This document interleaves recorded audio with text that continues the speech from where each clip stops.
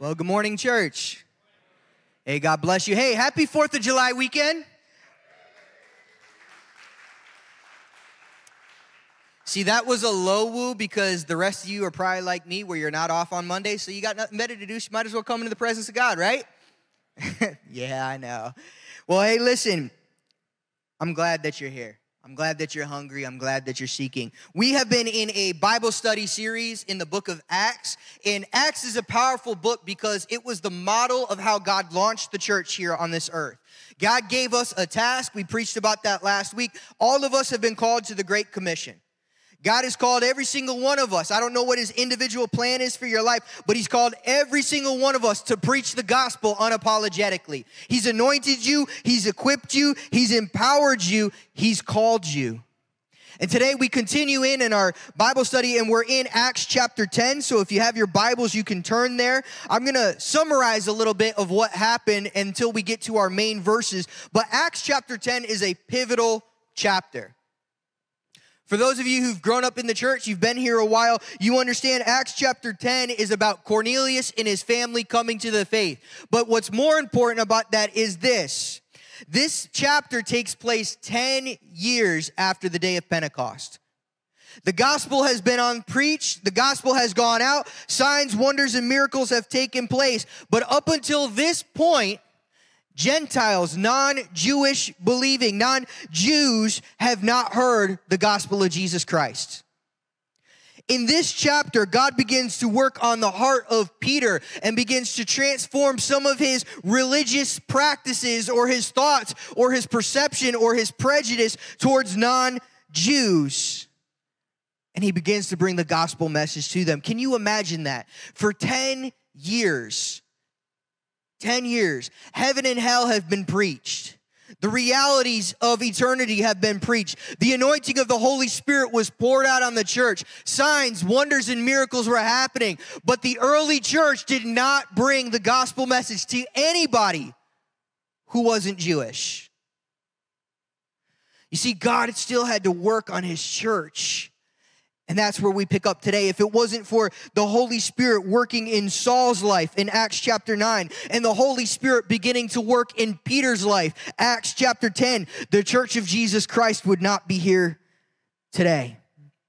So, if you have your Bibles or you have your uh, phone, you can turn into your notes. You can look on the screen. Today, we're picking up Acts chapter 10, starting with verse 44. Now, everything before that is what I just summarized. God speaks to Peter. He gives him a dream. Peter doesn't understand the dream. And he says, Lord, I've never eaten those things. Those would make me defiled as a Jew. I've never done those things. I've never broken your law. I haven't done that. And God says, Do not call unclean what I've made clean.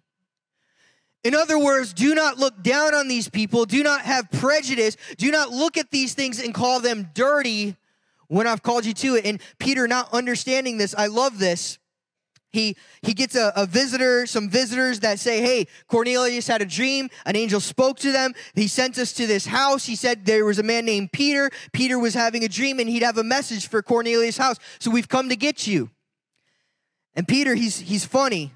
He arrives at Cornelius' house and he says, You know, you know, by the way, by the way, Cornelius, it's not customary for a Jew to sit with Gentiles. Basically, he was saying, You know, I'm breaking God's law. I've never sat with you before. I've never sat with people like you before. I've, I've never come and entertained or broke bread or had meals. And could you imagine that today? That would be like us going into the city of Philadelphia to a gospel preaching, uh, uh, multicultural church, and you say, you know what? I've only sat in white churches. I've never sat with you before. That wouldn't go so well. But Peter put his, his foot in his mouth and he said that anyway. But despite that, he begins to preach the gospel and the Holy Spirit falls. That brings us to Acts chapter 10, verse 44. It says this While Peter was still speaking these words, so while he was still preaching and teaching about Jesus Christ, it says that the Holy Spirit came down on all those who heard the message. The circumcised believers who had come with Peter were amazed because the gift of the Holy Spirit had been poured out even on the Gentiles for they heard them speaking in other tongues and declaring the greatness of God. Today, church, I want to talk to you about the baptism and the anointing of the Holy Spirit. And as today we begin this study at a historical context and begin teaching it, I want to encourage you that do not let past thoughts, past experiences, past circumstances block what God has for you. The Holy Spirit, as we see in this chapter, is for every single person. So let's go to the Lord in prayer. Father God, we thank you for today. God, I thank you that you are the same God. I thank you that you still move in signs, wonders, and miracles, God. I thank you that you don't favor specific groups of people over others, but God, you brought the gospel to all. The Holy Spirit was poured out on all. It was confirmation that Jesus, eternity in heaven and forgiveness of sin is for everybody. So, Lord, as we dive deep into your word today, I pray that you would remove prejudice thoughts. God, I pray that you would remove barriers that would stop the gospel from going forward. God, I pray for those who have had negative experiences when it comes to the Holy Spirit. God, soften their hearts today to receive all that you have for them. We pray this in the mighty name and power of Jesus Christ. And everybody said, Amen. I want to turn your attention that in the verses that we just read, the phrase was used that the Holy Spirit came down. The Holy Spirit came down. This is important because it shows that the Holy Spirit was the initiator. He was the one. Cornelius in his house, they didn't have to prepare a special service. They didn't have to present a, a special offering. They didn't have to do anything special. They weren't fasting. They weren't doing any of that stuff. But as Peter preached, as Peter preached, as Peter was faithful to what God called him to do, the Holy Spirit came down in the middle of his message.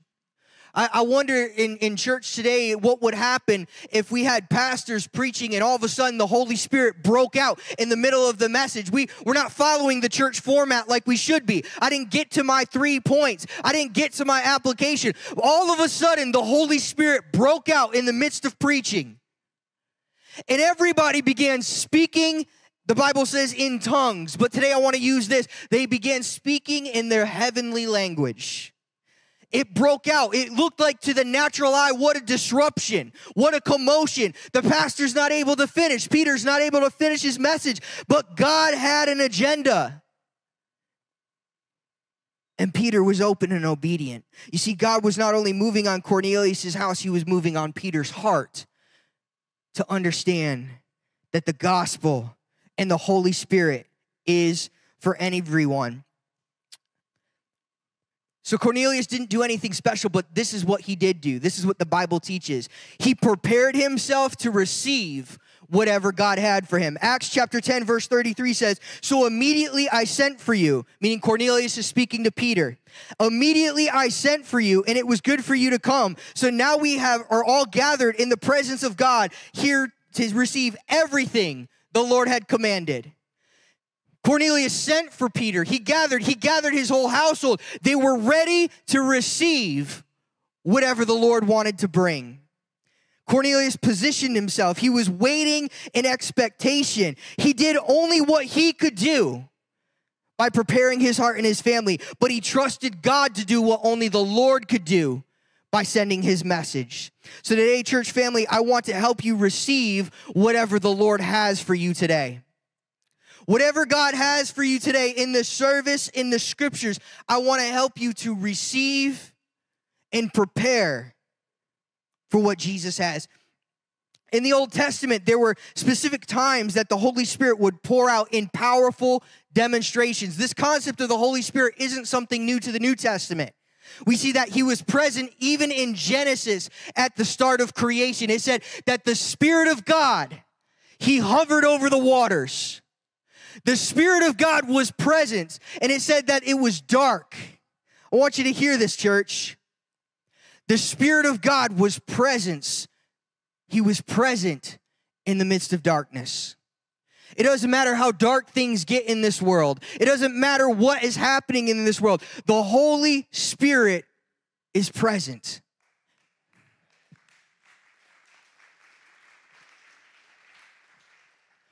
I love how the Bible teaches that, and unless you study the original Hebrew text, we miss this in the English translation. But really, what the scriptures were saying was that in that time, Satan was cast out of the heavens. He was in darkness. Basically, he was saying the Spirit of God hover, hovered over. He was above the realm of darkness where Satan resided, where Satan had control, where Satan had authority. The Spirit of God was above the work of Satan and he's still in control today. We see other examples in the Old Testament where God supernaturally empowered people. We, I can think of Moses was supernaturally empowered by the Lord to carry out his great purpose. We know that he was sent to Egypt and he performed signs and wonders to set his people free. But in Numbers chapter 11, verse 16 through 17, Moses has been walking with the nation of Israel for a time. He's been leading the people. They've had great moments where God shows up and supernaturally saves them, redeems them, empowers them. But they've also had critically low moments. And Moses, in this moment, is facing a low time. I imagine that the nation of Israel, he just felt the pressure. And actually, it says that. He feels the pressure of leading the nation. He feels the task, the, the weight of a complaining people that are so quick to turn from the Lord. And I want to tell you, church, we're not that much different. Sometimes preachers and teachers will mock the people of Israel, but we're so often when times of trouble show up, when hardship shows up, we're quick to turn our back to God and turn ourselves to drugs, for comfort. We're turned to turn ourselves to alcohol, to sex, to pornography, whatever it might be. We're quick to turn our backs to God and find a different source of comfort. Moses in the struggle begins to pray and cry out to the Lord, and God responds to him. Numbers chapter 11, verse 16 says that the Lord answered Moses, Bring 70 men from Israel, known to you as elders and officers to the people. Take them to the tent of meeting. That's where God met with his people and have them stand there with you. He says this Then I will come down and speak with you there. I will take some of my spirits who is on you, and I will put that on them. They will help you bear the burden of the people so that you will not have to bear it by yourself. Church family, I want you to know that that still stands today. God may anoint a preacher. God may anoint a pastor. God may anoint a prophet or an evangelist. But we need men and women full of the anointing of the Holy Spirit to stand with the leaders of the church. So the burden of the church, the, the, the challenges of the church, the battle that's on the church's lives will not overcome us. We need men and women of God who will stand with Pastor John, Pastor Teresa, Pastor Ryan, myself, Quincy, who will stand and pray and intercede because our battle is not against flesh and blood, but it's against spiritual powers in the heavenly places.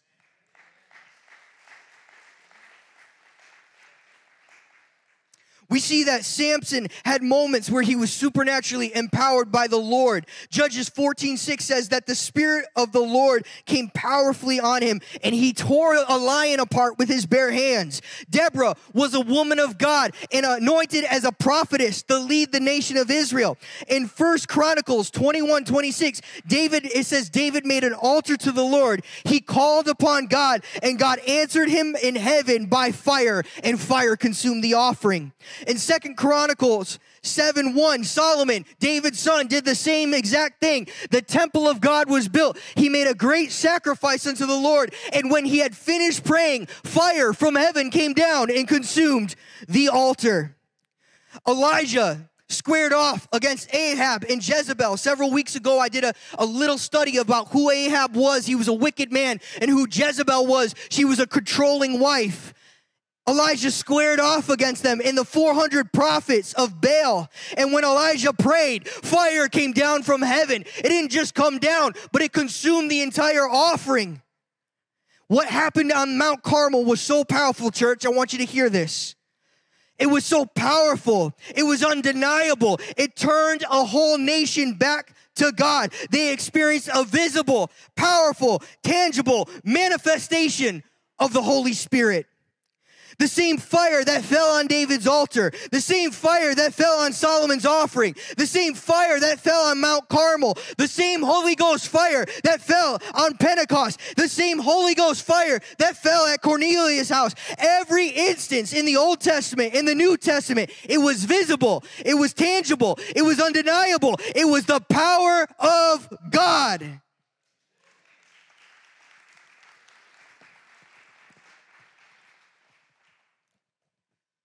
And what concerns me today, church,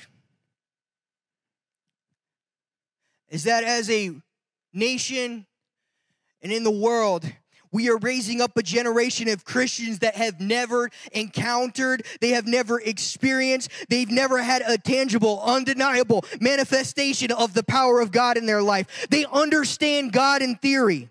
They know God in religion. They know about God mentally and intellectually, but they've never had a Mount Carmel experience. They've never had a day of Pentecost experience. They've never had a Cornelius house experience. They never had a burning bush experience. They never had the Holy Ghost seize them and take control and, and just empower them and speak to them in such a way that's undeniable. They've never experienced the burning power of the Holy Ghost when He anoints a person to pray for the sick and see them well. There was a pastor that I spent my four years of Bible college under, Pastor Wayne Shirk in Boston.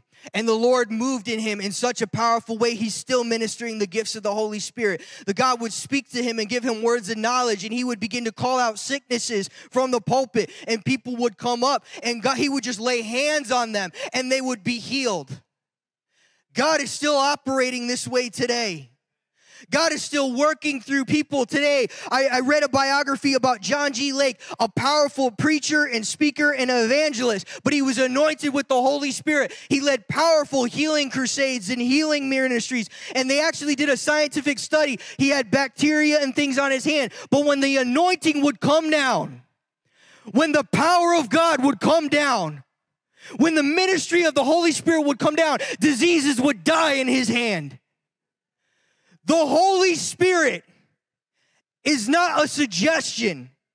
The Holy Spirit is not a suggestion. The Holy Spirit is necessary for his church.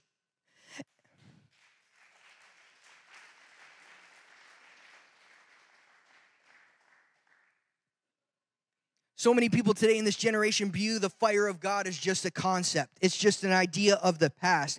But I came on an assignment to tell you this the fire of God is not a philosophy to be studied. It's not a figment of an overactive imagination or rambling of religious teachers or leaders, but the fire of God is the person and power of the Holy Spirit. He is the third person of the Godhead. He is the might and power in the presence of God. He is the same fire that fell on Mount Carmel. He is the same fire that consumed Jesus' ministry. He is the same fire that fell on the day of Pentecost. He is the same fire that fell at Cornelius' house. The fire of God is real. The fire of God God is tangible. The fire of God is alive. The fire of God is contagious. And the fire of God is power.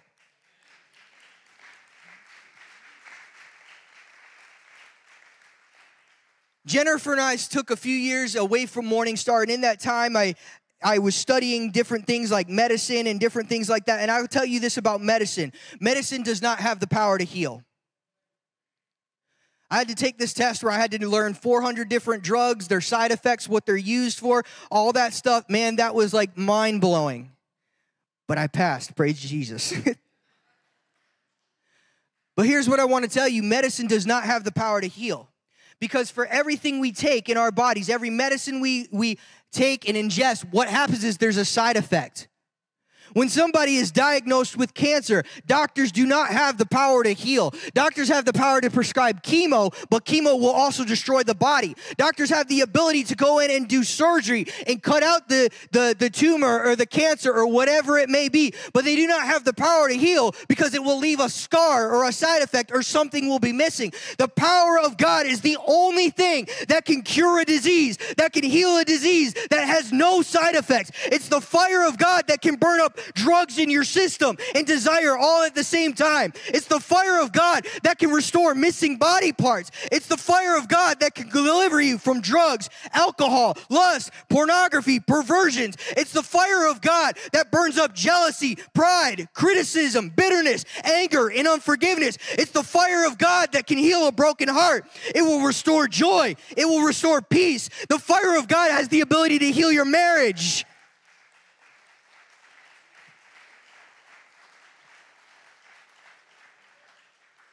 The fire of God has the power to heal your mind. You don't have to live in depression. You don't have to live in, in subjection to the enemy. The fire of God has the power to restore all things. God, who created this universe, has the right to override sin that has corrupted and destroyed human bodies, destroyed human will, has destroyed spirits. Those who are bound by demonic spirits. When Jesus showed up, he carried the anointing, he carried the fire of God. The demons would cry out and say, have you come to torture us? Have you come in this moment to judge us? Have you come in this moment to punish us? They understood what the anointing would bring. See, it's the anointing that has the power to set people free. The anointing of Jesus breaks every yoke of bondage. And my prayer for today is this God, do it again. God, let your fire fall. Let the same fire that fell on Pentecost fall on us today. And today, our big idea is this that the same power, the same fire that Jesus promised to the disciples is available for you and I. God doesn't play favorites. God doesn't just select Jews and ignore Gentiles. God doesn't just save whites and ignores black. God doesn't just save blacks and ignores white. God is no respecter of person. So, today, church family, I want to give you three ways that we can prepare our hearts to receive the power of the Holy Spirit. Our first point today is this number one, we have to accept that the gift is available today. We read earlier Moses' story that he felt overwhelmed and crushed and worried about the future, that the needs were so great. So I want to take you back to that story. This is, this is something Jesus showed me years ago. I've never heard it preached on. That doesn't mean it's a, a, a, secret knowledge, but I believe something that God wants to bring this to light. Numbers chapter 11, verse 28 through 29. This event takes shortly after God pours out his spirit on all people, and Moses is having a conversation with Joshua, the next ruler of Israel. And Joshua, son of Nun, assistant of Moses, since his youth responded to Moses, My Lord, stop them. Stop them.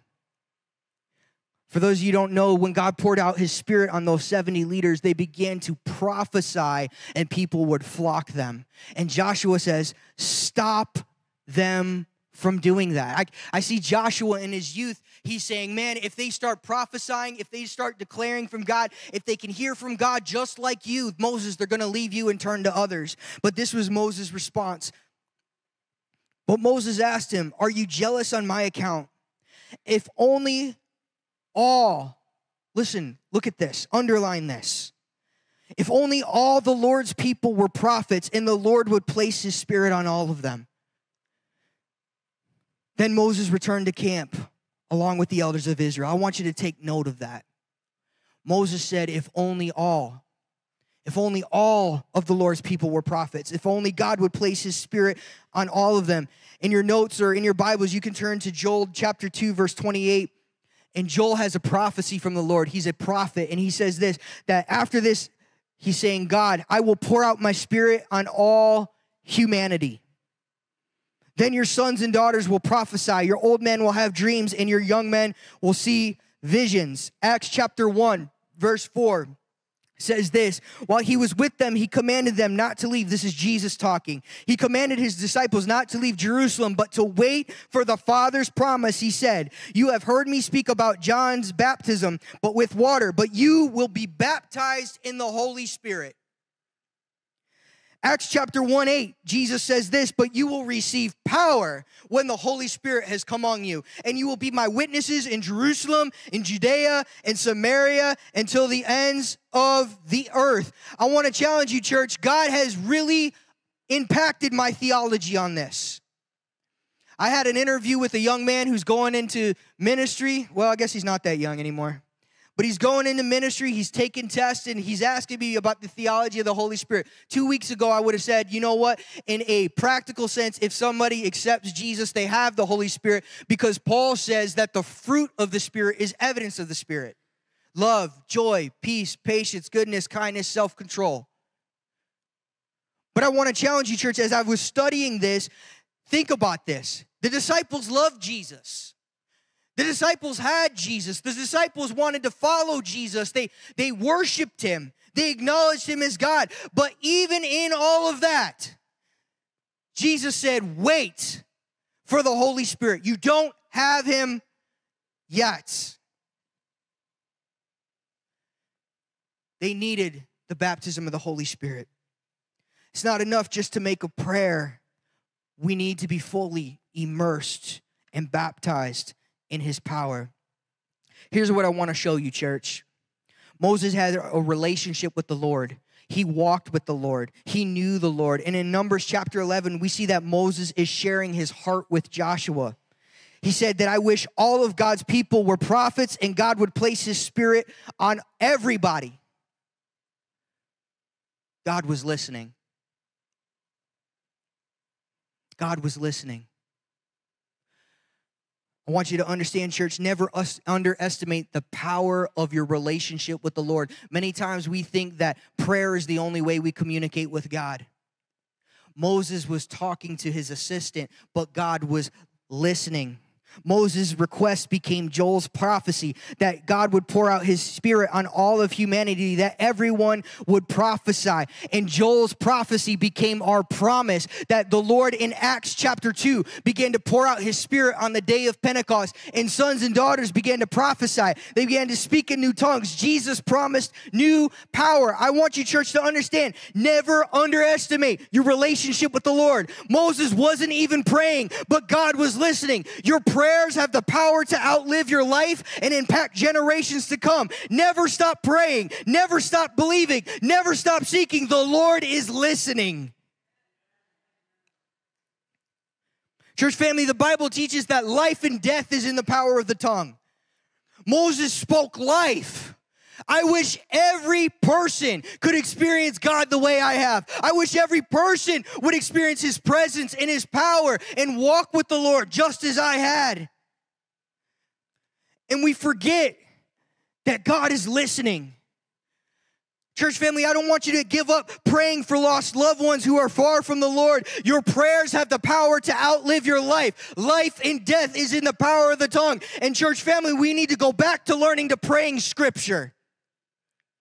You see, the word of God, when it goes forth, it will not return void. You some of the things you can pray when you're going through a hard time. Father, I thank you that your word declares that I am the head and not the tail. God, I thank you, Lord, that you have promised to be faithful to not only me, but my generation and the next generation and the next generation. God, I thank you that your will is that none would perish, but all would come back to repentance. So, Lord, I pray right now by the power of your Holy Spirit that you would get a hold of my son, that you would get a hold of my daughter, that you would get a hold of my family, that you would get a hold of my loved ones. And Lord, I pray right now that your will be done.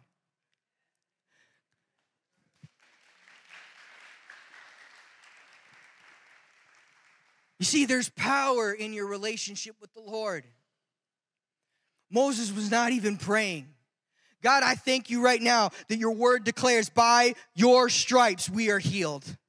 God, I thank you right now that you have the power to kill every disease in my body. Lord, I thank you that the anointing of the Holy Spirit was not just for years past, but it is for today. That we can draw on Him, we can call on Him, we can intercede, we can pray, we can fast, and we can experience the miraculous today. Jesus said that you will receive power. Jesus declared that these signs will follow those that believe, that they will lay their hands on the sick and they will be well, that they will prophesy, that they will cast out demons. Jesus made these promise. You see, it's the same power that caused the sun and the moon to stand still in Joshua's day. It's the same power that divided the Red Sea when Moses was leading the people out of Israel. It's the same water that forced, it's the same power that forced water to come out of a rock. It's the same power that made Hebrew children fireproof in a fiery furnace. God gave Daniel's lions lockjaw so they couldn't devour him. That same power shook the jail and set Paul and Silas free. That same power was upon Jesus' life that opened the eyes of the blind, that unstopped deaf ears, that made the lame to walk and made the dumb to talk. This same power raised Jesus from the dead. And this same power, this same anointing, God wants to send it on your life today.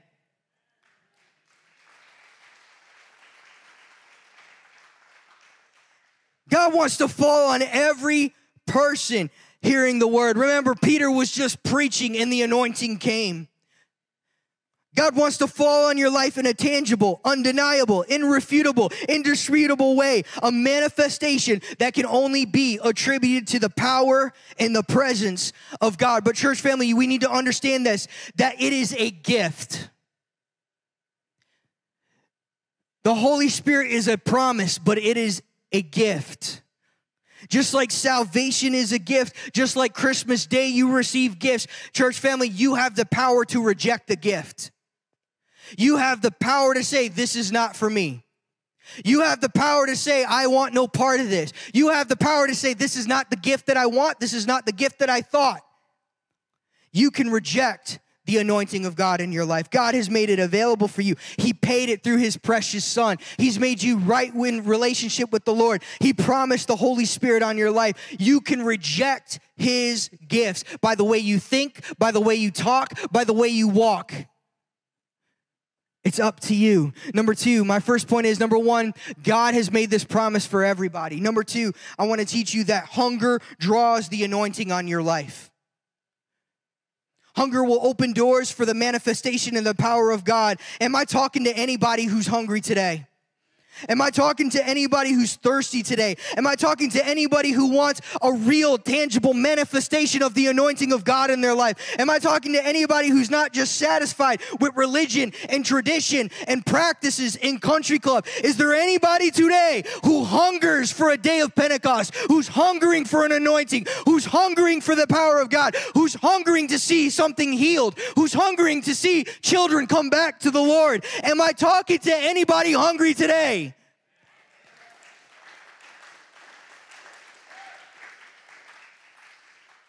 Smith Wigglesworth, many of you guys may not know him. He was a great preacher. Actually, he was a terrible preacher in London. His wife out preached him.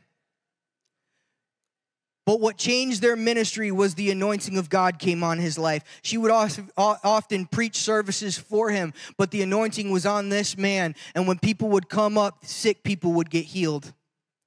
There's many accounts of Smith Wigglesworth praying for dead people who have passed and they come to life in that moment. And this is what he had to say. He said the secret of spiritual success is a hunger that persists. It's an awful condition when a Christian comes to a place where they're happy where they're at in their spiritual walk.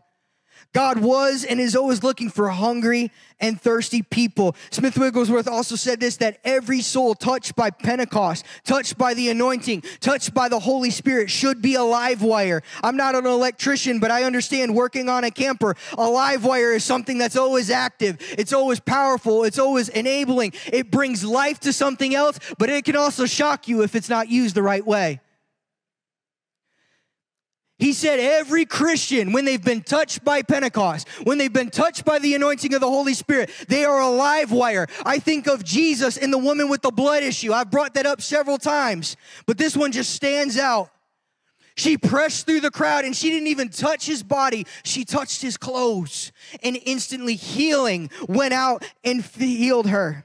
I think of Peter when he was walking with the anointing. We'll read later in Acts that even as he was walking in the streets, his shadow would begin to touch people and they would be healed. Oftentimes in church, we're comfortable preaching about how God separated the waters, how God healed the sick, how Jesus did this. But when we say it's here and available for today, we tend to shy away. I want to remind you of this that Matthew 5 6, Jesus said, Blessed are those who hunger and thirst for righteousness, for he shall be healed. John G. Lake, another great evangelist, I saved, shared this with our team this morning. Another great evangelist walked in the anointing of God. He'd preach crusades and people would get saved and people would get healed. And they ran a science experiment on him where there was like bacteria and different things on his hand. But when he would begin to pray, when he'd begin to seek the Lord, the anointing fell on him, and these diseases, this bacteria died in his hands. The anointing of God is real. The anointing of God is powerful. Reinhard Bonnke recently passed away into glory, but he was somebody who was very influential in my life when I began seeking the Lord in Bible college. And he would lead massive crusades all throughout Africa and different parts of the world. And as he was just praising God, he would just give a shout, Hallelujah! Praise you, Jesus! And it was recorded that those who came on crutches and those who came in wheelchairs were instantly healed in the power of Jesus' name.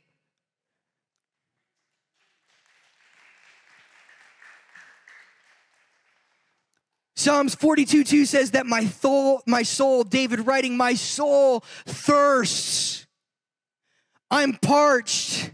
I need the living God. Psalms 107 9 says, For he satisfies the longing of my soul, my hungry soul with all God's things. John 4 14 says, But whoever drinks of the water that I give him will never be thirsty again. The water that I give him will become a spring, a well sparing up to eternity. Revelation 21 6 said, He said unto me, It is done.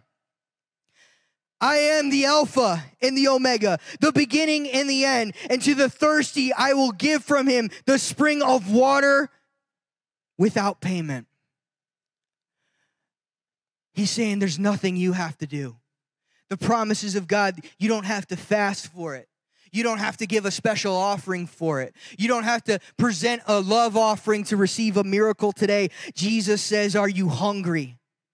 Is there an inner desire to want more? And I believe that today there are some hungry people as we're preaching this word. They refuse to be satisfied with passive, powerless, pointless Christianity that churches have made into country clubs. There are some hungry people that, as they hear stories from the Bible, as they're hearing the promises of Scripture, as they're hearing stories about people in our current day, they say, I want that. I want to catch that fire. And I believe God will touch you today.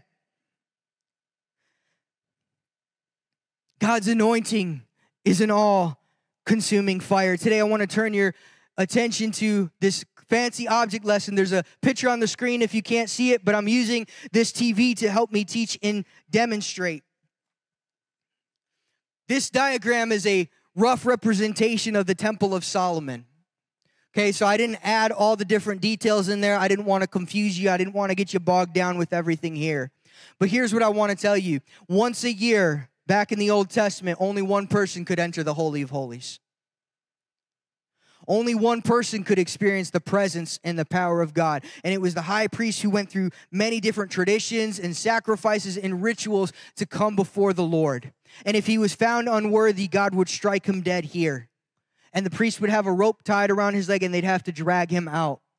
You see, when Jesus died on the cross, it said the veil that separated the Holy of Holies was torn in two. Praise God, he's not dropping people dead but you're covered by the blood of Jesus. The presence of God is not reserved for one person.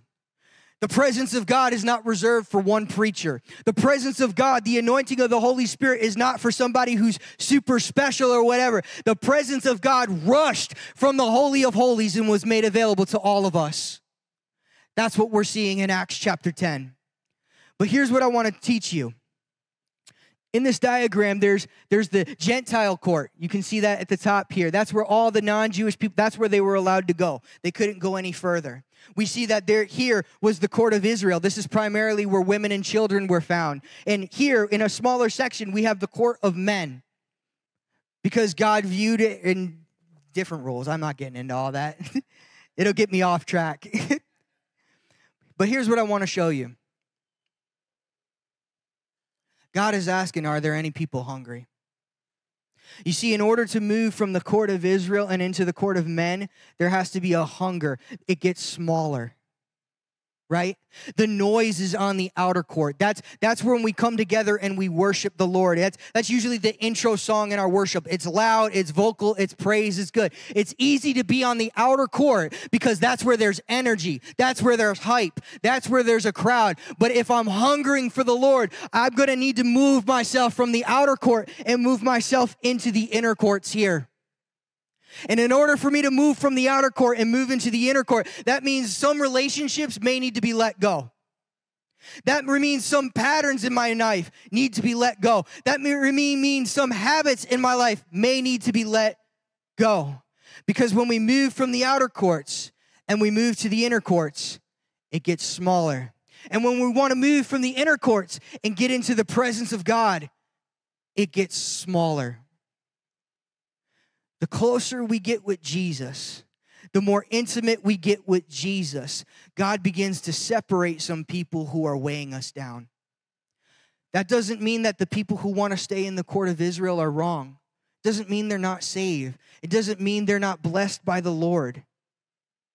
It just means they have a different hunger than you. And if I want to experience everything God has for me, I need to be willing to let some things go and start walking deeper and deeper and deeper. That's why it's so important to understand the relationships that you have in this life. They will determine your attitude and they will determine your altitude. God, I love I love my dad. He always said this. God has called us to be eagle Christians and source, so stop hanging out with the chickens.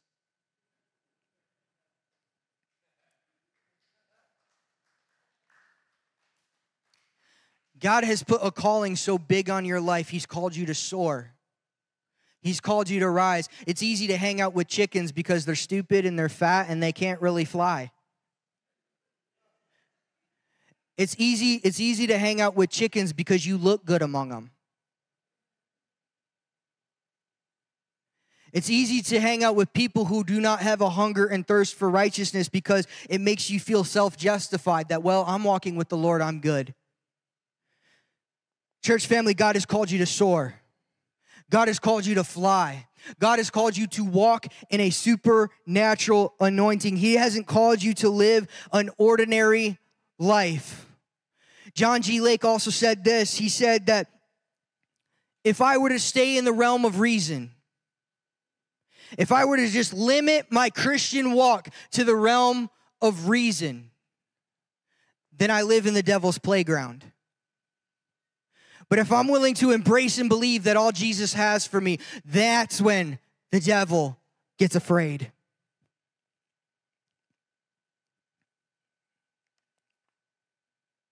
My question for you today, church, is how much of Jesus do you want? How much of God's presence do you want? Are you willing to let go of some things to move closer to Him? Are you willing to let go of some things to move into that holy place? Are you willing to give up some addictions, some patterns, some behaviors in order to experience all that God has for you? The baptism of the Holy Spirit is not just to give you a new spiritual language. The baptism of the Holy Spirit, God said, was to empower you to be a witness. Its primary purpose is power. So, number one, to prepare my heart for the Holy Spirit, I need to acknowledge it is for today. Number two, there is a hunger that has to creep up inside of me to thirst for more. Number three, I love this one. Jesus said to ask and wait. Matthew 7 7, Jesus says this. He says, Ask and you will receive, seek and you shall find, knock and the door will be opened unto you. Jeremiah 33 3 says, Call unto me and I will answer you and show you the great and mighty things that you do not yet know. One thing that I've learned in my own search for the baptism of the Holy Spirit in my life is that God has an anointed time and he has an appointed time. Let me explain. For David, he was anointed to be king over Israel. But it wasn't until many years later that the appointed time came and God elevated him into that kingship. For the disciples, they were told that they would receive power, but they had to wait. God is in the details. As the disciples were waiting, as the disciples were praying, the Feast of Festivals was coming together. The table of Pentecost was coming together. God was drawing nations to Jerusalem so that at the appointed time of power, the Holy Spirit would be poured out and have a maximum impact. God is in the details. There is a anointed time where God delivers you a promise, where he delivers you a word, where he delivers you a blessing, and there is an appointed time for the manifestation of God's power to be released. There are some of you sitting here today and you're like, man, I had a word from God and I haven't seen it yet. Do not give up. Pray that scripture through. Pray that promise through. There is an anointed time and there is a appointed time. So, what do we do in the midst of waiting? We seek the Lord. We build intimacy with Him. We press into the Holy of Holies. And some of you, you, you may have struggled with this teaching. Some of you may have struggled with teaching in the past about the Holy Spirit and the baptism of the Holy Spirit. And many pastors today, I was reading an AG statistic, the baptism of the Holy Spirit has started to plummet in our churches. And I believe it's because pastors are afraid to preach. We're afraid to preach on divine healing so we don't see healings happen. We're afraid to preach about salvation so nobody comes to Jesus. We're afraid to teach that baptism should happen for all believers and people are not getting water baptized. And we're afraid to preach about the baptism of the Holy Spirit because what if he doesn't show up? I'm gonna tell you, I had those same exact thoughts. God, what if I preach on this? This is your word. I trust it. I believe it with my whole heart. I am baptized in your spirit. I speak in tongues. But what if I preach and nothing happens? And the Lord reminded me, your job is to build the altar. Your job is to deliver the word. Your job is to prepare hearts. Jesus' job is to baptize them in fire.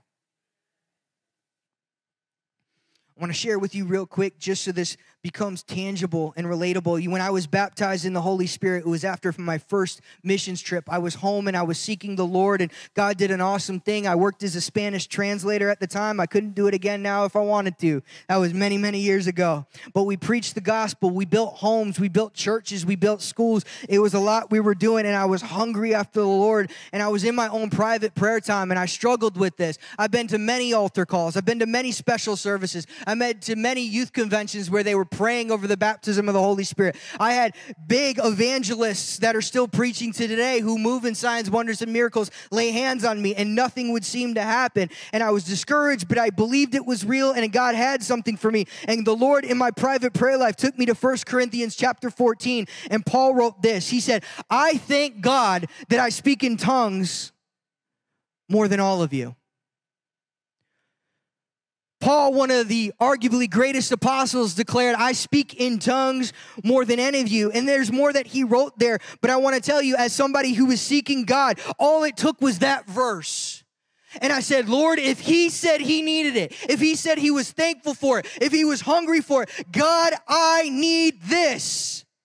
And it was in that time of intimacy with the Lord, I continued to pray. I continued to seek God. I continued to ask Him and say, Lord, I need this poured out on me. And then I took a moment to be quiet. And it happened. I want to tell you, church, sometimes we think that God in his supernatural, when a miracle happens, we, we watch a lot of TV, we think a bright light should take place and a miracle should show up. And that's just not always the case. For my personal story, what ended up happening was words started coming to my mind. There were thoughts coming into my mind. There was a doubt, and it didn't make sense. And I said, God, is this real? And the Holy Spirit spoke to my heart and he said, Son, you've been praying for this. You've been seeking this. Do not let Satan rob you of the gift I want to give you. Speak it out. And as I began to pray in the Spirit and I began to use the words that I felt like the Lord was imparting unto me, like I said, in the natural, it didn't make sense.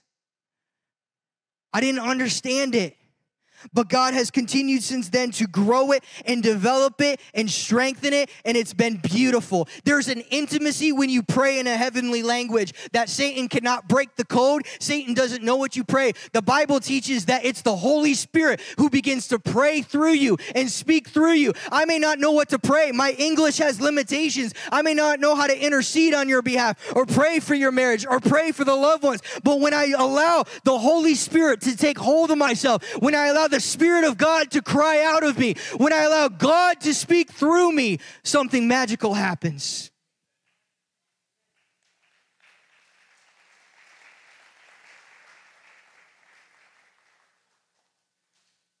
I want to encourage you, church.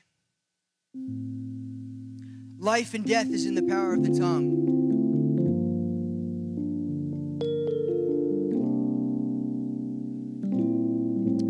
God did creation, it says He spoke it into existence. What a more powerful thing than to surrender yourself to the Spirit of God, allowing Him to speak things into existence in your life, allowing the Holy Spirit to pray things that are not yet here, and He draws that supernatural anointing. God begins to draw you closer to Him. But as you lead and yield yourself to the Holy Spirit, He begins to bring in His purpose, His power into your life. See, the gift of the Holy Spirit is not just about evangelism, although that is the primary purpose, there's power in it. I pray in tongues every church service. I pray in tongues when there's worship up there, and before I get ready to speak, I am interceding because, Lord, I have nothing to give you, but it's the Spirit of God. He's the one who hovers over the waters. He's the one that has something to impart. He's the one that can take, take dead things and bring them to life. And as I'm praying and interceding, I see the lion of the tribe of Judah. I say, God, go before me go before me. I, I, have nothing of value to give to your people. But Lord, if the Holy Spirit empowers your word, if the Holy Spirit takes a hold of this service, if the Holy Spirit is the one that is allowed to be released, then an unstoppable God will move to kill cancer. He will move to set people free. Drug addictions will be destroyed in Jesus' name. Loved ones will come back to the faith. God will empower you to be the light He's commanded you to be if we surrender to Him. Church, there's a lot of weird things that come up in Christianity. You know, we teach about virgin births. We teach about a king of the universe who came as a man. He lived a perfect life, died in our place for sins. And we're okay accepting that, but for some reason, we, we get hung up on this issue of tongues in spiritual language in baptism, but the same faith that takes you to receive Jesus as your Savior, the same faith that takes you to believe God's promises are yes and amen, the same faith that it takes you to trust Him with all that you have, that's the same exact faith that it takes to be baptized and anointed by His Holy Spirit. Now, I apologize. I know I kept you late today, but we have one service, and I believe this was Holy Spirit teaching. So here's here's some instructions. I'm going to do a general prayer for you. We're going to have a worship song go forward and and you know in the middle of the worship song if you're ready to go, you're welcome to go. God bless you. There's pretzels out there for you. We, we'd love for you to partake. Somebody leave me one. But if you're sitting here today and you're hungry, you know, we sing the song, We Need a Fresh Wind, a fragrance from heaven. Holy Spirit, pour out. If, if you want that to be more than words, the Bible teaches that the Holy Spirit came when God's people were seeking Him in prayer. The Holy Spirit came when God's people were sitting under preaching. And the Holy Spirit came when God's people would lay hands on, on them. We've had time of prayer, we've had preaching of the word. Now all that's left is we need to lay hands on people and pray. Holy Spirit, come. So if you're here today and you're hungry and God has touched your heart, I want to invite you to come to the altars. We have a prayer team that has been taught, we have a prayer team that has been commissioned. We have a prayer team that has been seeking the Lord this week so you can receive this gift. Now, I understand that this altar call, this is not for everybody. If you're content where you are, remember, you're in the outer court. You're still Christian. That's okay. Maybe you're not ready to step in and get to Jesus here or get to Jesus here. There's no pressure. But I want to take a time that if you're hungry, if you're ready, if you're searching for more, God has something for you. I close with this word that Smith Wigglesworth said that this that God has made available everything by his Holy Spirit. He said, I'm not content to live on the plane of an ordinary man, but God has called me to live an extraordinary life. And it's only when I tap into His presence that all of heaven is released here on this earth. So, Father God, I thank you for your word. I thank you that it doesn't return void. I thank you that by the power and the presence of your precious Holy Spirit, that you will release a fresh wind today. God, I pray that you bless your people. Let the word sit. There, there are those that are hungry and they're ready to be touched now. They're, they're ready, Holy Spirit. There are those that just need a moment to sit and process and think, and that's okay. Lord, I pray that you would use this time for your glory. In Jesus' name, amen and amen. Church, we're going to go in one song and then you'll be dismissed. If you want to stay at that dismissal, I ask you come to the altar the front. We're going to pray for you. But if you're leaving and dismissed, I ask that you take this chatter outside of the sanctuary. We want to create an atmosphere for the Holy Spirit to move. Amen.